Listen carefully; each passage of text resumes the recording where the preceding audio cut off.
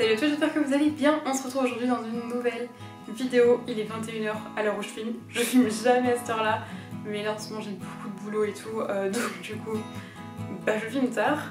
Euh, évidemment, mon chat a décidé de faire du bruit. Oh, mais non Bref, euh, je suis ici pour vous faire... Oh là là, je crois que j'ai pu avoir cette batterie. Pour vous faire bilan du mois de juillet, qui sera en deux, parties, puisque en fait, j'ai lu 9, livres, pardon, j'arrive plus à parler. Du coup, si je vous fais mon avis sur les 9 livres ici, bah, c'est même pas la peine, euh, on va jamais s'en sortir. Donc du coup, je vais commencer sans plus tarder avec le premier livre que j'ai lu au mois de juillet et qui est euh, Le premier jour du reste de ma vie de Virginie Grimaldi. Je ne l'ai pas ici, donc je vais vous mettre la couverture sur le côté. Euh, alors, je me rappelle plus exactement du nom des personnages, j'espère que je vais pas vous dire de bêtises. On suit Marie qui euh, est mariée, il me semble, depuis 20 ans avec son mari, sauf que bon, clairement, il fait plus attention à elle, il la trompe, enfin bref. Il n'y a plus grand intérêt à rester avec lui. Donc, elle le quitte le jour de son anniversaire, petite surprise, je te quitte, tu vois. Elle part en, en croisière et elle va rencontrer euh, deux femmes, Camille et euh, Anne. Et là, une amitié inattendue va se construire. Euh... Oh, il m'épuise cet animal, il m'épuise Je peux pas parler J'ai été lui dire d'arrêter, mais je sais pas s'il a compris. Je sais plus où j'en étais, mais du coup oui, une amitié euh, inattendue va naître entre ces trois personnages. On apprend un petit peu, enfin on voit un petit peu comment leur relation se construit et tout, et j'ai adoré, vraiment j'ai adoré, ça a été un coup de cœur. C'est frais, c'est agréable, c'est vraiment Virginie Grimaldi va devenir une de mes autrices préférées je pense. Vraiment c'est plein de beaux messages, c'est addictif, on peut pas s'empêcher de tourner les pages, les chapitres sont hyper courts donc ça se fait super bien. Alors, moi, ce que j'adore dans les livres de Virginie Grimaldi, en général, comme je vous disais, c'est les liens qu'elle arrive à tisser entre les personnages. Euh, vraiment, entre des personnages qui, des fois, n'ont rien à voir les uns avec les autres, mais, mais qui vont. Enfin, euh, c'est trop beau. Et aussi, elle a des mots absolument magnifiques, elle a tout le temps des phrases absolument sublimes dans ses livres. Vraiment, j'adore. Voilà, euh, il y a des paysages hyper jolis parce que du coup on est sur une croisière donc on voyage. Et c'est à chaque fois, chacune de, des trois femmes qu'on suit ont une histoire différente et on suit leur histoire et, et c'était, je sais pas, c'était réconfortant, c'était doux, c'était chaleureux, c'était juste ce que j'avais envie de dire à ce moment-là et bref, méga coup de cœur. Euh, comme dit, quand je lis des livres euh, en début de mois et que je vous en parle un mois plus tard, des fois j'ai un peu du mal à avoir tout en tête, surtout quand j'ai lu autant de livres.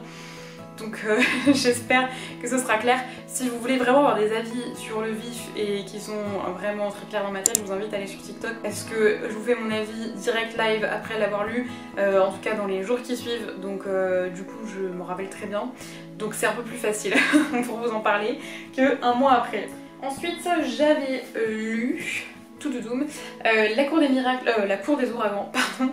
Donc le tome 3 de Vampiria écrit par Victor Dixon, publié chez Collection R. Donc dans cette saga on se retrouve dans une uchronie, c'est la millième fois que vous m'entendez faire ce résumé, mais dans une uchronie, une uchronie c'est quoi? C'est quand on prend un élément du passé de notre histoire avec un grand H euh, et qu'on le modifie. Ici, on est en 1715. 1715, dans notre histoire, c'est la mort de Louis XIV.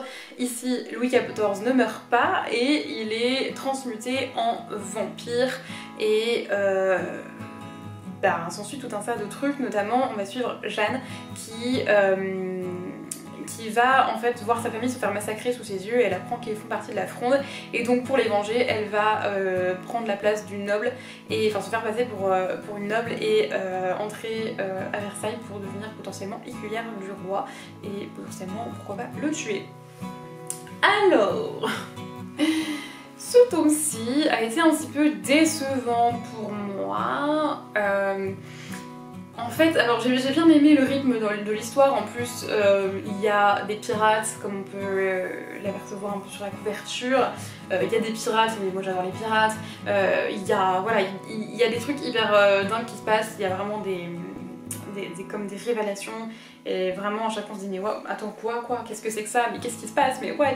Euh, Vraiment, c'est surprenant. Euh, voilà le mot que je cherchais. Mais ouais, en fait, il y a un bon rythme, il y a des trucs sympas et tout. Mais moi, il y a un truc qui m'a un peu gênée, c'est sur la fin, en fait, du coup, de cette première trilogie où je m'attendais à plus. Dans le sens où je m'attendais à ce qu'on avance plus dans notre intrigue générale de la première trilogie et où en fait j'ai l'impression qu'on n'a pas avancé tant que ça euh, bah, dans la quête principale euh, je veux pas trop en dire parce que ça pourrait vous spoiler, mais dans la quête principale. voilà. Euh, pour ceux qui lisent la saga, ils comprendront. Mais ouais, moi je suis restée sur ma fin. Il m'a manqué quelque chose, j'ai l'impression que vraiment, en fait, j'ai l'impression qu'il s'est rien passé dans les trois tomes qu'on a lus. J'ai l'impression que ça nous menait nulle part. Et finalement, c'est très crédible parce que, euh, si vous voulez, on se retrouve avec Jeanne, Jeanne qui sort de nulle part, qui est une roturière, qui voilà, et pourquoi est-ce qu'elle arriverait à sauver le monde euh, toute seule? Enfin voilà, ça n'aurait pas grand sens. C'est vrai qu'il y a assez beaucoup le, cas dans les sagas fantasy, fantastique, etc. Young adult, ce qui est des fois pas très crédible, un peu dommage. Et du coup, là on a quelque chose qui est crédible et qui vraiment euh, bah, ressemble à euh, l'histoire, l'histoire avec un grand H finalement d'une certaine manière. Je sais pas si je suis claire, mais voilà, c'est crédible, mais en même temps. J'aurais aimé qu'on avance quand même un peu plus et en plus on laisse des personnages que j'aurais voulu retrouver en fait dans les sagas suivantes et qu'on n'a pas retrouvé et c'est un peu triste, je suis un peu déçue. J'ai trouvé que j'aurais voulu qu'on aille vraiment plus loin dans cette quête et euh, voilà, j'ai trouvé que du coup c'était un peu dommage et j'ai un peu l'impression que le tome il était là pour, voilà, pour pas grand chose. Bon, à chaque fois, à chaque tome, il y a une avancée, mais qui je trouvais minime. Qui est minime et qui finalement apportera beaucoup dans la quête, euh, que je veux pas trop vous révéler, je sais pas, peut-être que je peux, mais je sais pas, donc je vais pas vous le dire. Mais bref. Par contre, on a des, personnages qui évoluent énormément, notamment Jeanne qui va vraiment, vraiment évoluer, qui, qui, va voilà, prendre conscience de certaines choses qui vont la faire grandir, qui vont la faire mûrir. Et donc ça c'est bien. On a le personnage de Zachary aussi qui est beaucoup plus développé dans ce tome-ci. Et euh, autant il était assez froid dans les premiers tomes et euh, voilà, on avait un peu. Enfin on se disait un peu ouais d'accord ok. C'est devenu limite mon personnage préféré de la saga. Vraiment je l'ai adoré. Euh, donc voilà, ça c'était hyper chouette de pouvoir découvrir ce personnage là un peu plus en profondeur. je trouve que dans, dans, chacun des tomes, il y a des personnages qu'on va vraiment apprendre à découvrir et tout, et ça c'est très très chouette. Il y a aussi... Euh, J'avais relu un petit truc et j'ai trouvé rigolo. Il y a un couturier qui s'appelle Rosier dans, le, dans la saga. Et c'est dans, dans c'est Rosier et, et quelque chose, un truc comme ça. Il y a, il y a un truc comme ça, pareil, il y a un, un, couturier ou une marque de vêtements ou un truc comme ça, euh, ou une marque de cosmétiques et c'est euh, quelque chose et rosier ou rosier et quelque chose, je sais plus. Et je trouvais rigolo qu'il y ait peut-être un genre de clin d'œil, je sais pas si c'est un clin d'œil ou pas, mais moi j'ai relevé ça donc je, sais pas. Mais en tout cas voilà, bon, pour mon avis général sur ce, ce 3, voilà, petite déception dans le sens où j'aurais voulu qu'on aille un peu plus loin et où pour moi j'ai trouvé que du coup peut-être que la saga traîne un peu en longueur, en même temps c'est très crédible, en même temps chaque aventure est trop chouette à suivre dans chaque tome. Mais voilà, c'est pas ma saga préférée de l'auteur, malgré que à chaque fois je suis absolument choquée euh, par tous les petits points historiques qu'il arrive à, disséminer partout, tout en les modifiant pour qu'ils correspondent à son univers. Et euh, vraiment, ça par contre, je suis juste euh, sur les fesses à chaque fois. Et il a fait un travail de fou à ce niveau-là. Donc voilà, vraiment, vraiment pour ça, c'est une saga géniale. mais donc voilà. Ensuite, j'ai lu un autre Virginie Grimaldi. Il s'agit de Le bonheur du plus fort. Euh, le bonheur du parfum est plus fort sous la pluie. Euh, alors, euh, ici on suit Pauline qui va se faire quitter. Et du coup, elle va partir avec son fils de 4 ans vivre chez ses parents. Et en fait, elle va tout faire pour récupérer son ex. Et du coup, comme elle n'arrive pas trop à le récupérer, elle va finir par lui écrire des lettres en lui racontant ses souvenirs. Euh, par rapport à leur histoire, en fait, des souvenirs de leur histoire d'amour. Alors, c'était un roman, encore une fois, que j'ai absolument adoré. Celui-ci n'a pas été un coup de cœur, mais je l'ai encore une fois adoré. Il y a juste un petit truc que j'ai envie de vous dire direct de but en blanc qui m'a un peu dérangé, c'est qu'il y a des moments très beaufs. Euh, alors moi je suis une beauf totale, moi j'adore camping, euh, j'adore les bronzés font du ski, tous les films français bien beaufs, tu vois, j'adore ça. Euh, même certaines musiques de beauf, j'adore. Voilà, je, suis un peu beauf sur les bords aussi, mais là c'est trop. Euh, c'est-à-dire que l'ex, euh, je sais plus comment il s'appelle, Jules je crois. Je sais plus comment il s'appelle. il s'appelle Ben il me semble. non Jules ça doit être son fils, peut-être. Ben, donc l'ex, en fait, par, par exemple, elle raconte leur rencontre. Alors, c'est-à-dire que le mec s'agenouille sous le bureau pour trifouiller je sais pas quoi sur l'ordinateur et là il y a quoi? Son caleçon qui dépasse de son pantalon et c'est un caleçon Père Noël. Et la Pauline se dit waouh alors là j'ai su que j'allais craquer pardon. Moi ça me dégoûte en fait. Ça me dégoûte ça me je... Ah, je peux pas c'est dégueulasse. Enfin à un moment donné le mec là il a son vieux caleçon qui sort de son c'est dégoûtant. Je sais pas c'est horrible. Et enfin juste que on peut pas craquer là-dessus c'est pas possible je ne comprends pas. Et il y a plein de scènes comme ça où le mec est archi beauf il me dégoûte il me dégoûte des scènes un peu intimes et tout. Oh, où ça m'a dégoûté vraiment mais, vraiment le mec me dégoûtait j'étais là mais à quel moment tu veux le récupérer en fait? C'est un... Mais c'est génial qu'il soit parti, il est dégueu, je sais pas. Je sais pas, moi, j'ai pas, pas pu. Mais le garçon était gentil en soi, mais juste, euh, j'ai pas pu. voilà. Donc, euh, petit bémol. Après, par contre, sur l'histoire, j'ai adoré. Euh, j'ai l'impression que ce livre, enfin, en tout cas, c'est ce que j'ai compris, était très inspiré de la vie de l'autrice. alors, pour un événement que je ne vous dirai pas, parce que ce serait un énorme spoil, euh, et qui d'ailleurs était euh, tellement retranscrit d'une manière hyper touchante et vraiment euh, waouh et de voir ce que ce genre de choses peut faire sur la vie d'une personne c'est juste bref voilà mais on parle aussi d'alcoolisme notamment comment ça peut détruire une famille comment des enfants peuvent vivre ça quand, quand un parent est alcoolique etc et en fait c'était vraiment bien de bah, de traiter ce sujet-là et c'était bien traité et, vraiment j'ai beaucoup aimé. Ça parle de, liens qu'il y a entre des frères et des sœurs. En fait, juste ça parle d'une famille, de leurs liens, de leurs secrets, de leurs blessures, etc.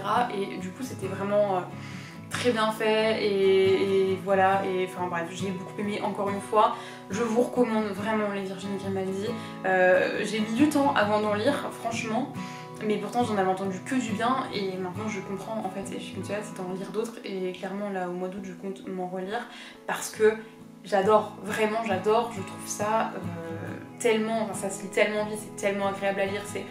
Bref, donc je vous recommande à fond de, découvrir, euh, découvrir ce livre et s'il y a juste un petit bémol autre, le personnage de Pauline des fois elle est énervante en fait, elle s'énerve contre tout le monde des fois elle est désagréable, et c'est parce que t'es malheureuse que t'es obligée d'être désagréable comme ça avec les autres.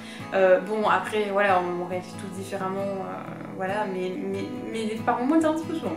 voilà. Mais sinon, très bonne lecture. Et la dernière lecture dont je vais vous parler dans cette partie-là, et qui finalement était celle sur laquelle vous avez quitté euh, le mois dernier, il s'agit de la première partie du coup, parce que je les ai en poche, du Prieuré de l'Oranger de Samantha Shannon. Alors, il va falloir que je fasse un résumé, là c'est une autre histoire. Euh, on se retrouve dans un monde de fantaisie. Euh, donc on a une carte et tout, enfin même, plusieurs cartes au début. Et du coup on va suivre plusieurs peuples, des rénomes, des royaumes, des états, des, bref plein de trucs différents. Et en fait, dans cet univers, ce qui est un peu au centre, c'est les dragons, et notamment on a le dragon qui s'appelle le Sans Nom, qui a été euh, battu, et depuis plusieurs siècles, il me semble, qui commence peut-être, pas, à s'éveiller en fait. Il commence à y avoir des trucs un peu, bref. Euh, alors il y a des états qui sont qui, vénèrent carrément les dragons, et d'autres qui les bannissent, qui, qui, genre dès que tu parles d'un dragon, limite c'est une trahison, enfin vraiment voilà. Euh, donc on va suivre plein de personnages différents dans cet univers là. Euh, alors le fait qu'on suive plein de personnages c'était vraiment compliqué pour moi au tout début. Pareil les lieux j'ai mis énormément de temps à comprendre où on se situait. Euh, en plus il y a des personnages qui bougent et machin donc vraiment j'ai eu beaucoup de mal à comprendre. J'ai mis je dirais 200, 250 pages à rentrer dans le bouquin. Il fait 600... 650, un peu plus 650 pages, donc clairement c'est très long. Euh, et euh, non, 550 pages, je dis n'importe quoi, mais euh, bref. c'est très long, et je me dis c'est que la première partie. Hein. Mais vraiment, moi je trouve que c'est trop long. C'est beaucoup trop long. Il y a trop de choses, trop de personnages. C'est limite au bout d'un moment ça devient pas intéressant. J'ai eu beaucoup de mal à rentrer dans l'intrigue et tout. Alors oui, on est sur un univers qui est méga bien développé.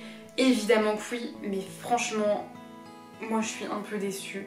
Et euh, voilà, je, je comprends pas trop l'engouement qu'il y a autour de ce livre. Euh, voilà, il y a quelques personnages que j'aime bien suivre et que j'ai envie de continuer à suivre. Mais, voilà, je lirai la deuxième partie. Je sais pas si à terme ce sera des livres que je vais garder dans ma bibliothèque, euh, vraiment, sauf si j'aime pas plus que ça la deuxième partie, je vois pas l'intérêt de les garder par exemple. Mais franchement, euh, pour l'instant je suis pas convaincue. Euh, moi j'arrive pas à rentrer dedans, j'arrive pas à m'y passionner, j'ai pris quasiment deux mois à le lire. j'ai dû entrecouper avec d'autres lectures parce que vraiment ça me prenait la tête. voilà, je me suis beaucoup énervée contre ce livre parce que vraiment c'était... bref, voilà, je je suis pas conquise par ce livre, donc j'attends de voir la deuxième partie, mais honnêtement pour l'instant je ne suis pas conquise. Voilà du coup pour la première partie de ce bilan. Du coup là je vais vous tourner tout de suite la deuxième partie je pense, et euh, du coup elle sera postée je pense le week-end prochain, par rapport à quand est-ce que vous regardez cette vidéo. Euh, et euh, voilà, j'espère que la vidéo vous a plu, est-ce que, enfin dites-moi si vous en avez lu certains que je vous ai présentés, si vous les avez aimés, etc. ce que vous en avez pensé. Et puis bah, on se retrouve du coup euh, dans la prochaine vidéo qui sera du coup sûrement la deuxième partie de ce bilan lecture. Bye